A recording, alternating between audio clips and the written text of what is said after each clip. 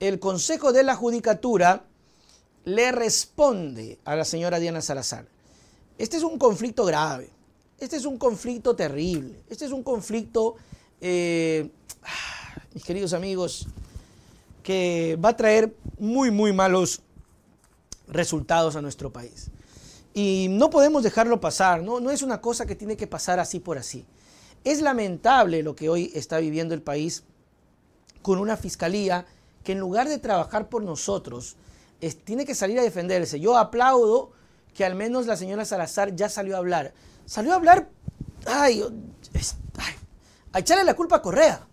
Pero bueno, habló.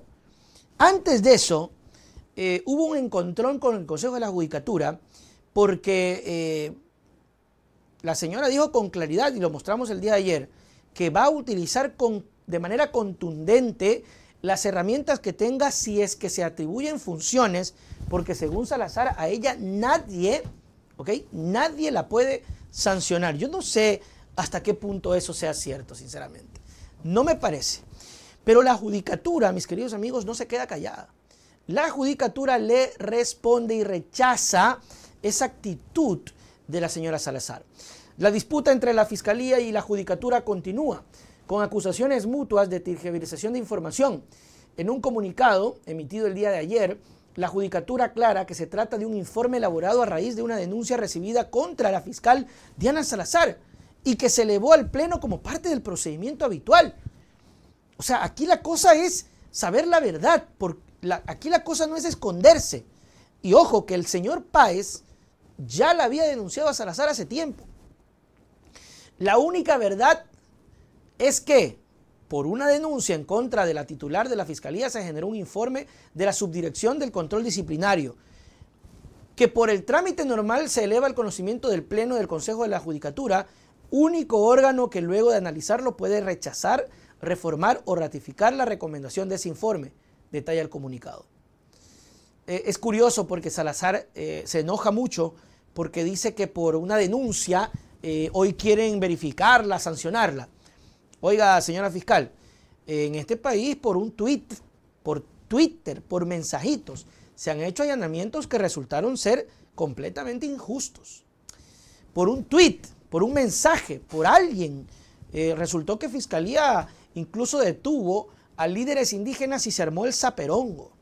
Acuérdese que eh, la manifestación pasada de los 18 días no tenía proyección de demorar tanto, pero alguien tuvo la mente maestra cogerlo preso a Leonidas Sisa y hasta la señora, este, iba a decir Nina Pacari, no, la señora Lourdes Tibán salió a las calles. Según el documento, el presidente de la Judicatura, Will, Wilman Terán, ha instruido a la Subdirección de Control Disciplinario que actúe de manera imparcial al realizar cualquier recomendación al Pleno. ¿Ok? Estas acciones se deben a que la fiscal Salazar advirtió la noche del 29 que había un informe listo para suspenderla Ahí también hubo fuga de información. ¿ah? ¿Cómo sabía Salazar?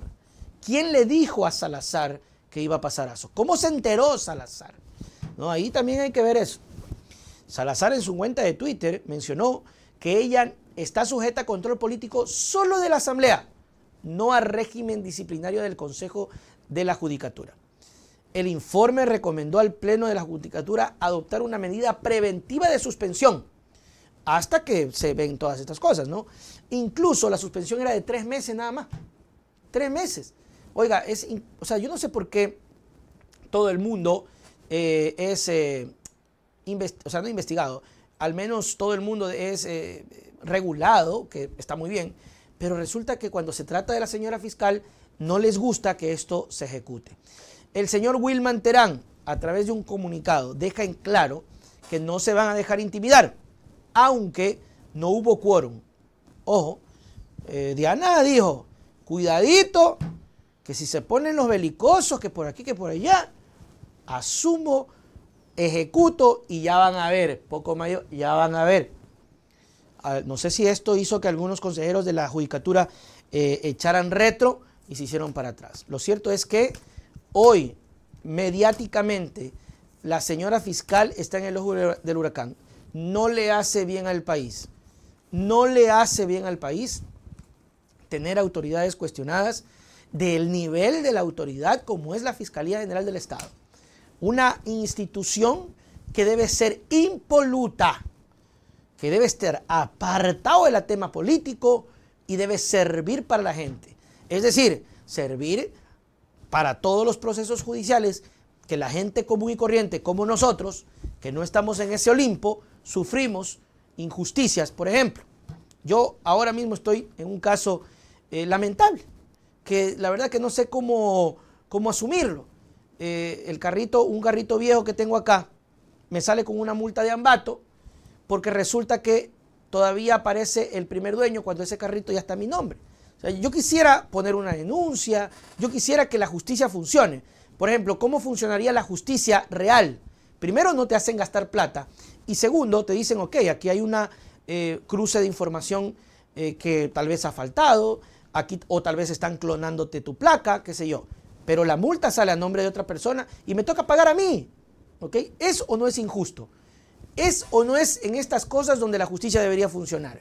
¿Ok? Las multas de tránsito, que yo hice un satírico. Las multas de tránsito, ¿es o no es injusto que te cobren 135 dólares porque excediste el límite de 50 kilómetros en una vía entrando a Durán que es de tránsito rápido y te ponen una trampa? Yo venía viajando este fin de semana, oiga, y me demoré hartísimo porque te ponen eh, que no puedes excederte del 70, de 70 kilómetros por hora en carretera porque te estamos vigilando. Eso es injusto.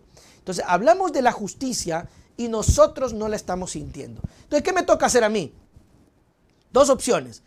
Te pones o te metes en el engorroso proceso de buscar justicia. No, ñañito, que ven para acá, que pasa acá, que las colas, que el abogado, que no sé qué, lo siento cuando es algo que el sistema debe resolverte, ¿no? A ver, señor Salazar, déjeme ver su, su, su, su eh, matrícula. Efectivamente, y acá este señor aparece como dueño. ¿Por qué? Aquí hay algo raro. Espérese un ratito. Debería funcionar para nosotros, pero no. Tienes que gastar plata y tú dices, no, pues para gastar plata, irme a Ambato, mejor, ¿sabe qué? Yo le mando la transferencia y pago eso.